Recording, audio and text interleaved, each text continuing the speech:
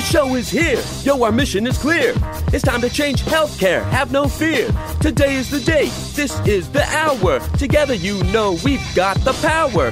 Drop the silos. We're all the same team. Patients, docs, nurses, tech, and marketing.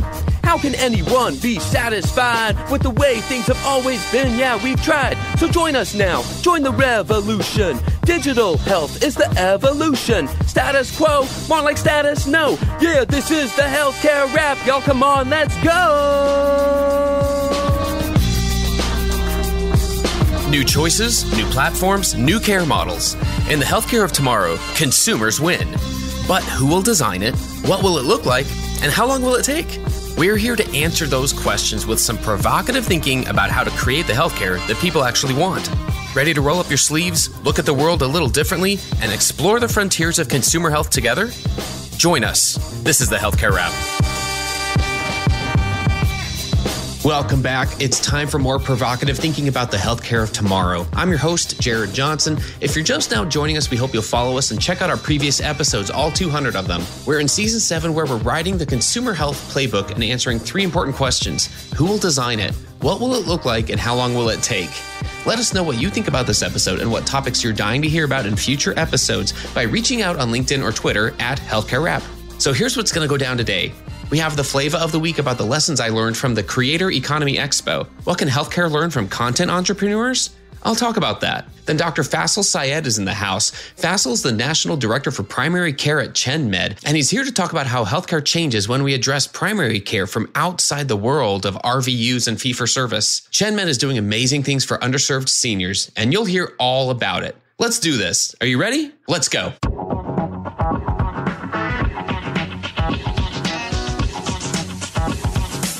Flavor of the week. Are there lessons for healthcare organizations from the creator economy? I recently attended the first ever Creator Economy Expo hosted by Joe Pulizzi and Brian Clark. The conference is for content creators who want to be content entrepreneurs, and as you can expect, that draws a highly diverse community together. There were probably about 400 to 500 people in attendance. I sat next to people at all points in their creator journeys, from B2B and B2C industries, content managers to YouTubers, sports jackets sitting next to Bermuda shorts. The vibe was off the charts, in part because we came in without knowing what to expect. It was also in part because of the chance to meet people like Joe Pulizzi, Robert Rose, Jeremiah Owyang, and Brian Fanzo, and so many others in a smaller, more personable setting where they each took the time to chat with me and offer encouragement and gratitude. Over the course of the conference, I found three themes that were particularly relevant to healthcare organizations. First, Jeremiah Owyang, an outspoken advocate of Web3 technologies such as DAOs, NFTs, and creator coins, presented on how the internet is moving to a peer to peer model, meaning instead of building an audience, we should think of it as building a community. The future is not one person building up their own brand and trying to get everyone to engage with them to build their brand. It's building decentralized communities where the power is democratized and we're incentivized to contribute knowledge and trust one another. Second, in the quest for creators to connect with their community, and accomplish their goals, whether it be to grow a business or influence society. Creators learn to focus everything on telling stories that connect with people. They spend an inordinate amount of time and energy trying to engage through those stories. In that quest, they listen to the point of view of the members of their community. They understand their hopes and dreams, their expressed and unexpressed needs and desires, and the successful ones create all of their content around those needs. Third, creators are embracing the future without relinquishing the past. The biggest evidence of this was in the four tracks or focus areas for the session, which were operations, Web3, revenue, and audience. Sound familiar? Isn't that remarkably close to the four pillars of the consumer first health group that we talk about frequently on this program? Human centered design, digital, finance, and marketing. This balance shows me that we don't have to abandon what got us here, but we should still feel the urgency to explore what's coming. And we should create a safe space that allows us to fail along the way, or else we might not develop the chops we need Healthcare, we have a long way to go, but these lessons can help us get there faster. Change agents, I'm talking to you. Content creators are doing amazing things, and they're doing it by leaning on peer to peer communities, telling powerful stories, and embracing the future. It's time to think like content entrepreneurs. That's another way that we'll build the healthcare of tomorrow. And that's the flavor of the week.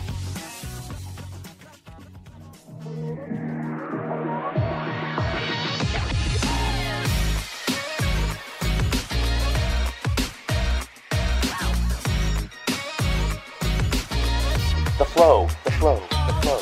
All right, everyone, let's get into the flow. I've got a special treat for you. Give it up for Dr. Faisel Syed. He's the National Director for Primary Care at ChenMed. He's also the host of Faisel and Friends. It's a primary care podcast. You really should check that out. I want to welcome you, Faisel, to the Healthcare Rap. How are you doing? Hi, Jared. Thank you so much for having me on today.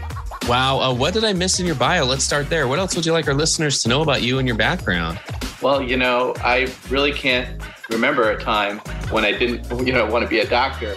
I have uh, interesting. You know, my, I was raised by my, my parents.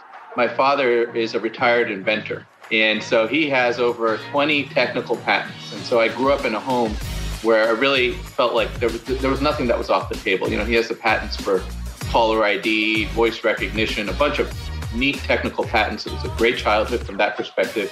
And then I had my mother, who was the opposite extreme, who was very passionate about natural remedies. And I remember the way my mother used to question doctors. You know, the doctors would offer some sort of medical advice, and then my mom would always come back with a with a natural remedy. So, in addition to whatever professionally, you know, I'm a community doctor. I I trained in family medicine, and after completing my training in family medicine, I went into community health. So I became a doctor specifically for people with little to no resources. Well, I imagine that served you quite well in your role right now. But I, I would be remiss if I did not mention the newest brand ambassador for ChenMed. Do you want to tell us what your life has been like for the last few weeks? Yeah, so I'm I'm at the stage of life right now where my seven week old son Elias gets me out of bed in the morning at two o'clock in the morning, four o'clock in the morning again. so I'm at that stage of life, and uh, you know, this is being a father again at 42 versus the first time when I was 28 is very, very different. I definitely appreciate the experience much more now at 42 than than I did at 28. Actually, you know, a benefit that I have now that I didn't have the first time around is actually at my company we have paid paternity leave. So I was able to take off work for a month on paid paternity leave without worrying about anything related to my job or my professional life and just focus on being a father. And actually, that ended up working out very nicely because we ended up having he, my our, our son ended up having difficulty with breathing and with feeding. And so he ended up needing to stay in the ICU for over two weeks, the first two weeks of his life. He's fine now. He's home with us now. But on top of dealing with everything going on in my personal life, having the time away and not worrying about my work or my paycheck was, you know, it's no surprise that the company I work for has um, received the Best Place to Work award two years in a row. Well, I'll tell you what, I love hearing anything about paternity leave. I, I will tell you, just in this world right now where it feels like uh, things like that make a difference for employees because I don't even use that term employees that much anymore. It's like we're, we're people who happen to be working in a place. Yeah. And, and so like that difference, I can only imagine that that made things, I, I, mean, what would have been like without that type of leave? I don't feel like an employee. I can, I mean, even before going on leave, I, ChenMed's one of those companies. We're fortunate that it's a family run business and it very much feels like, you know, I'm working with my family members. And so I love the company before but even now i appreciate it even more now because i'm valued you know my my time is valued. Me as a human being my family relationship you can when you really need it when the company will do things like this i mean this is what really makes ties you to the organization ties you to the mission. Well tell you what let's dig into that mission here because one thing i'm very interested in is understanding how disruptors like ChenMed are just approaching healthcare differently. We speak with a lot of guests on this program, and I think the one thing that unites all of them is this this change agent mentality. I don't have a better word for it. I'm sure there's a better term for it, but not just from the guests, but the organizations they work for. And there is a big difference in the type of mindset for an organization like ChenMed because it's very clear that you're you're working on providing a better experience and that you're very consumer focused. I imagine there's varying levels from our listeners of, of understanding and familiarity of what ChenMed is and what they do and why it's different. Maybe we should start there with an, a layperson's explanation of, of uh, what ChenMed is all about. Sure. ChenMed serves underserved seniors. You know, so we're not your typical transactional primary care practice. We're ChenMed is a full risk primary care provider. So our patients are some of the oldest, sickest, and probably most forgotten members of society. The age we're talking about our patients on average are over 70 years old and they have five or more chronic medical conditions at the same time. Most of them are on fixed incomes. And many of them actually did not have access to primary care because you know our healthcare delivery system, most of healthcare delivery in the United States is the fee for service world. So they're not patients who live in underserved neighborhoods aren't profitable. They don't generate a lot of billing opportunities. And so we honor these seniors with affordable VIP care that delivers better health. Our clinicians, that what they do is they're focused on the patient's needs. So they meet the patient's needs where their needs exist. And that includes things like food, housing, and even transportation needs. So in our mind, you know, when most people think of primary care, they think of, you know, wellness visits, referral, renewals to go see specialists, getting your medications refilled. But in our minds, you know, public health is our space. You know, urgent care is our space. You know, we don't refer most of the non-interventional specialty care. Actually, we are focused on transforming the lives of our patients and ultimately entire communities. So the goal is to improve health rather than to bill more. So it it feels like a much more ethical healthcare delivery system. It sounds like even just the approach you're sharing with words like talking about the mission and, and how ethical that is there's got to be a, a you know a business side to that as well which we'll dive into but i think it's fascinating that that's the approach to begin with what we've been talking about lately especially on the program is how do consumers understand all the choices that are out there now and they keep changing so how do they keep up how do they trust those options and know what's best for them? I think it's fair to say that a majority of consumers out there don't understand the complexity of the current healthcare system. I've yeah. been in the in in the industry for going on two decades, and I don't understand a lot of it. And I think consumers take that one step further. They they don't understand it, but they also don't really care that much. They just want a better experience. They want this to make sense and fit within the needs that they have in their life so I'm curious how the team at ChenMed designs a better experience that meets those needs. It's interesting you mentioned about the mission and you know the speaking from the moral side of things. You know, we had we start from this moral consensus, right? Our mission is actually we we honor seniors with affordable VIP care that delivers better health. And so when you have a physician-led practice, and we are a physician-led practice, and we believe that everyone should have equal access to healthcare, regardless of their financial circumstances in their lives. You know, so we are intentionally growing in underserved communities. And so we're just not providing your typical primary care. What we're providing is care that actually we're calling it transformative care. So, you know, to do like a quick compare and contrast, like in the fee for service world, you know, most patients see their doctors, maybe they see the doctors once or twice per year. In our world, we see our patients as often as necessary. At, on the, at a bare minimum, routine visits are on a monthly basis because I told you earlier, you know, we're dealing with seniors. Our average patient's over 70 years old. They're very medically complex. You know, you're talking five or more chronic medical conditions. So they need to be seen on a regular basis. You know, in the fee for service world, appointments are very quick. Our appointments take, we spend much more time with our patients, you know, at least 20 minutes. You know, new patient visits at least 40 minutes and really as often and as long as you need. In the fee for service world, I think about, you know, with what I'm dealing with right now with my seven week old who had a, a, a rough start. You know, when I get a text message from the doctor's office, really it's that, you know, I've got an appointment coming up or I owe money. in our world, our patients actually get daily text messages on ways that they can improve their health. There's a difference in the fee for service world. When we walk out of the doctor's office, maybe you walk out with a prescription but in in our world actually our our patients walk out with their actual medication in their hands so you see in our in our world you know our patients end up spending between 30 to 50% less time in the hospital than in the fee for service world and they actually end up living on average 5 or more years longer as well Stay tuned for more provocative thinking after the break.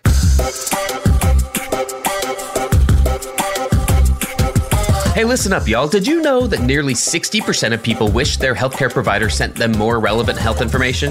And 42% would even consider switching to a different provider that sent them more, according to a recent survey of patients in the US. The vast majority of them would prefer to get that information via email or text. Persado is a natural language AI company that provides healthcare organizations with pre developed, pre optimized messaging journeys proven to build digital relationships, improve health goals, and increase patient retention. Deliver better health outcomes and revenue growth with Persado's data driven content that inspires action. Visit Persado.com to learn more. That's Persado, P E R S A D O.com to find out how Persado can help.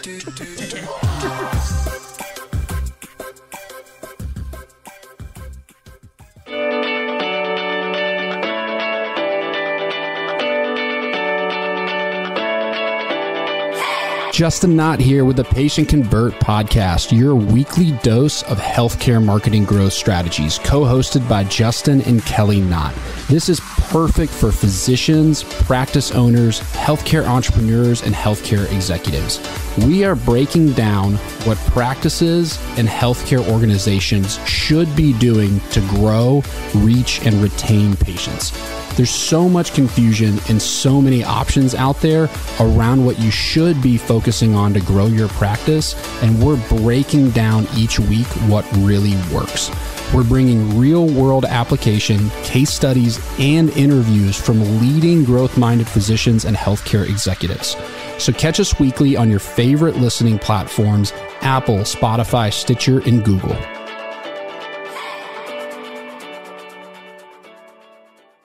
Okay, back to the flow. So with something as as seemingly simple as just providing more more time during appointments. Absolutely. You know, it's a relationship based care model of care delivery. It's not a transactional model. It's a relationship based model. You know, we you know the doctor patient relationship is a sacred one in our model. It used to be a sacred one before it became the transactional one that everyone knows today unfortunately. So I guess, you know, one question that comes to mind is like, why hasn't someone done this before? It makes so much sense. What have been the obstacles to this type of model coming to play before? You know, like, why hasn't someone done this before? Well, it's a, it's a heavy question. We're in an evolution. You know, we've been consistently on an evolution. You know, healthcare is constantly changing. And the healthcare delivery in the country has been based on a transactional model up until very recently, up until the last couple of decades, meaning that you know, up until very recently, you have to pay. Base, healthcare delivery is based on your ability to pay. Unless you go to the emergency room, you have to pay to go see a doctor. The cost of care, you have to take the cost of care into consideration with your experience with uh, your interacting interactions with the healthcare delivery system. But now, but now we have options. You know, now we have different levels of risk arrangements, and you have organizations like ChenMed who are able to take on full risk. And when you take on full risk and you're responsible for the total dollar care, you know, for every hospitalization, for every medication, for every aspect of care delivery, then suddenly your goal becomes to influence positive behavior changes to improve health. And improving health in general means three things. Right? Improving health means prevention of disease. Improving health means curing of disease. And when you can't do either, improving health means easing of suffering. So then everyone's aligned with the goal of improving health rather than to bill more. I see. And I imagine that attracts certain types of clinicians as opposed to others. I mean, that draws in some who are, you know, for lack of a better term, you know, more mission based, you know, and understand the value of what they're doing. And that feels right. And I'm sure there are some who are just more familiar with or just more comfortable with the fee for service world that they've either gotten accustomed to or they've been practicing in, you know, for, like you said, until very recently. How does that come into play in terms of bringing more providers on board? Does it attract a certain type of provider? Well, you know, we're living in a time right now where we're experiencing physician burnout and nursing care burnout, really just healthcare delivery burnout at a level. I mean, and it got, you know, it all got got so much worse because of COVID. But now, especially if you're talking about primary care, the burnout is very, very real. Patients are being delivered like in a parade to the doctors, and the doctors are just in and out with the patients. You know, the goal is to just get patients in. You know, patients are seen for a few minutes and then off the patients go. And the ones who are who are running this system, you know, they keep figuring out ways for doctors to see patients faster and to see more patients. You know, the goal is, you know, to treat them and treat them. You know, this environment of just treating patients and letting them run out. You know, our priority is actually to influence the patients to make better choices. You know, that ultimately results in better health outcomes. So the goal is to, I mean, at least with the work, a lot of the work that I try to do for the company and for medicine in general is is to help educate doctors that hey, there's options outside of the billing model. You know, you can be in a model where you have teams that are supporting you to do all the work that doctors just because a doctor can do something doesn't mean that the doctor should be doing that. I think the value proposition to use a marketing term makes a lot of sense. How do you translate that to help an underserved senior understand that like this is the choice that they can trust this is a choice worth them uh, exploring and, and checking out to see if it's right for them? With patients i think about what you know when you're when you're looking at your average 70 plus year old person when they think of the relationship between their doctor and themselves you know they don't immediately think of a billing relationship. You know that our patients don't view doctors as just you know as a in a transactional sort of manner. You know our patients view their doctor as the first person that they go to whenever there's a problem. You know if they're constipated they call us. If stub a toe they call us. You know if they can't sleep they call us. And i i know that may sound silly because we're used to this sterile transactional process in, our healthcare delivery system. But actually when you develop these types of relationships then you start to build trust in the healthcare delivery system. And then then everyone is on the same page and our goal is to improve health. You know and, and, and our patients want that opinion too. You know the patients want the doctor who knows them best. They don't want to go to the emergency room and have to re-give their entire list of their medications and to remember all that stuff and to remember what they're allergic to and to remember test results and things like that they would rather have the person who knows them best look after them and i know and, and from the doctor's side I remember I would feel betrayed if a patient went to the emergency room without talking to me first. I would say, "Hey, what could I have done? Why did why didn't you call me?" Because I know that that there's no one who knows my patients better than I do. You know, you can't just apply a cookie cutter type of, "Hey, you know, this is a protocol. This patient," because then the patients just become a diagnosis and they fall into like some sort of protocol rather than being a human being with complex social and medical needs. Well, that makes a huge difference, uh, doesn't it? Uh, a huge difference to see consumers and patients differently, like you described. I think that's a, a, major hallmark of this this approach and why it's growing. I wonder if you can give us a, a bit of a reality check if we kind of take a step back and just talk about the industry at large, not just what ChenMed is doing to make a difference. What kind of progress do you think we can realistically expect out there in the industry? We've talked about some of the the things you're trying to do to improve an experience, to improve access, to improve a relationship. What kind of progress can we realistically expect? Let's say, like the next one to two years. Well, the reality check is not really a pretty picture right now. You know, America is the world's richest country, but sadly, we have we still have almost 30 million Americans who live every day without healthcare. I mean, if you compare the United States with Japan, for example, we spend almost three times more per person on healthcare than what the country of Japan does. And you know, the life expectancy in America is 37, 38. In Japan, I mean, their life expectancy is six or more years longer than what it is over here. Their average, the average Japanese person is almost 50 years old. So we're spending nearly twice as much as most developed countries. And still, we, end, we have probably some of the highest chronic disease burden when you compare that to any other country. I mean, if you just look at the obesity rate in America, you know, it's more than double what it is in other countries.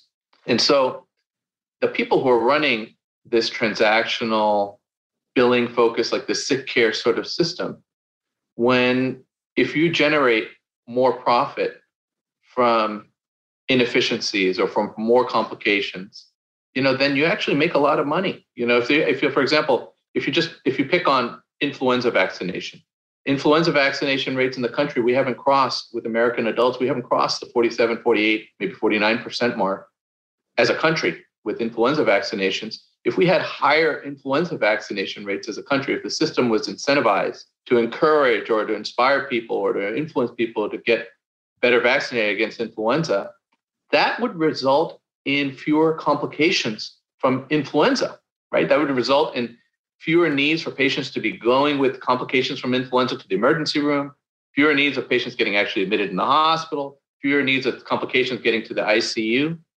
And so our system actually generates more profits when when you don't address these issues further upstream.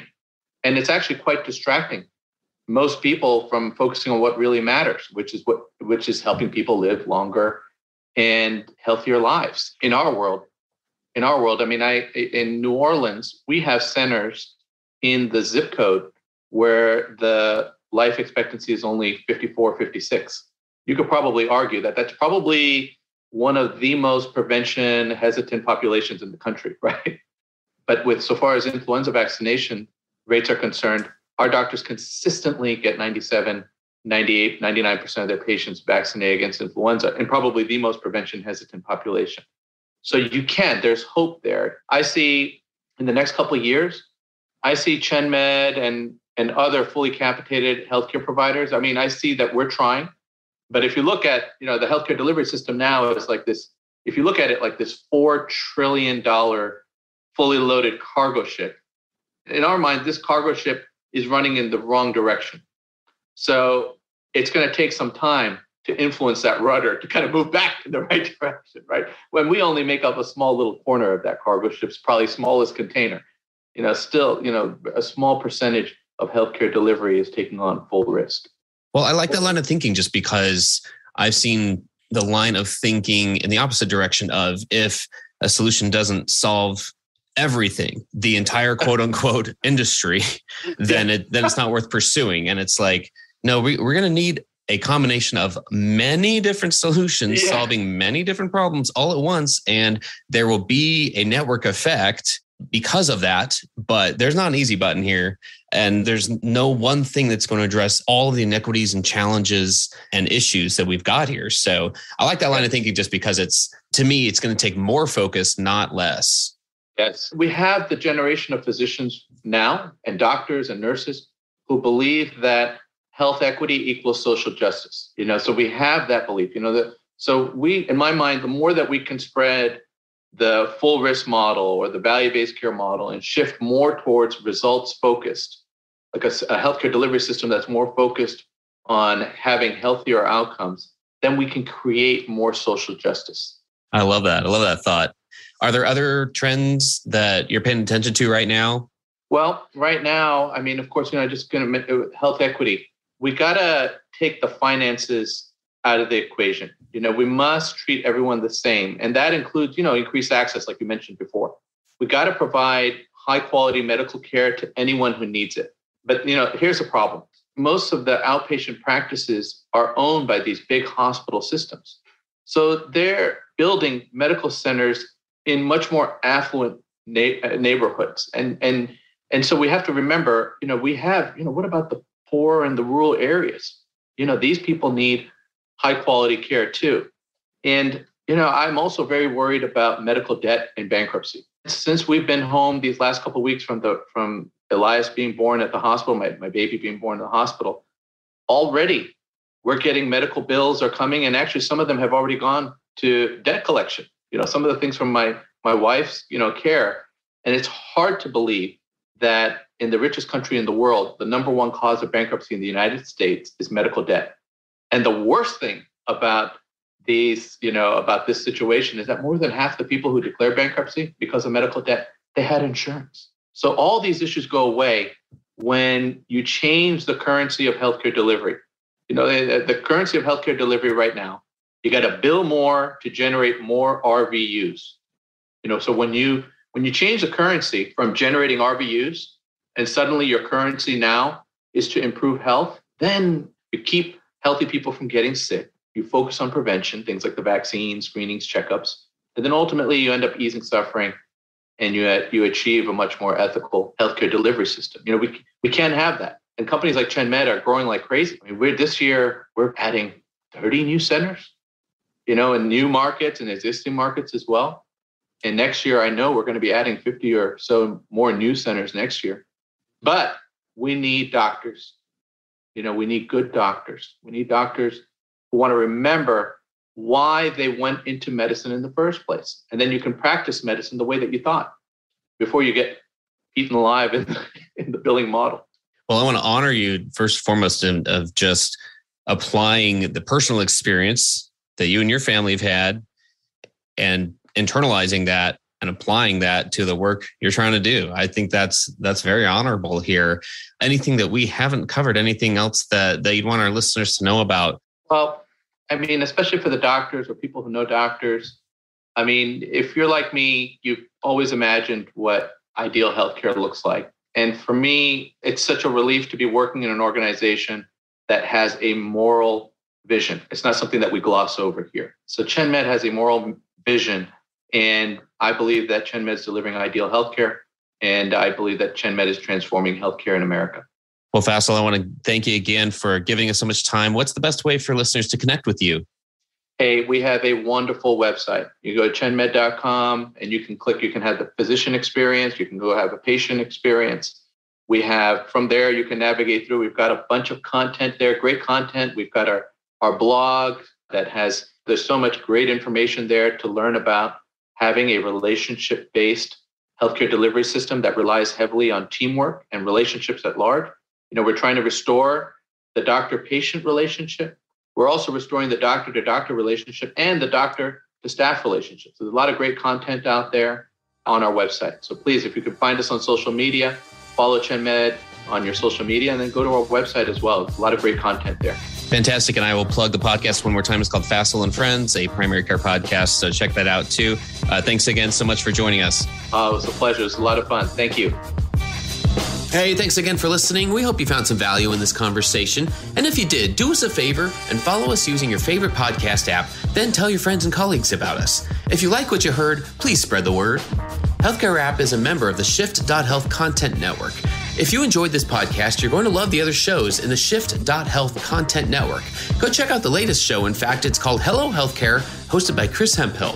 It's focused on people who are moving healthcare forward, how healthcare strategy relates to data and AI, and what you can do to create or demand a better future. Subscribe on your favorite podcasting platform or at shift.health, where all 35 podcasts and video series are free and available on demand. Until next time, keep marketing forward. Thanks, and that's a wrap.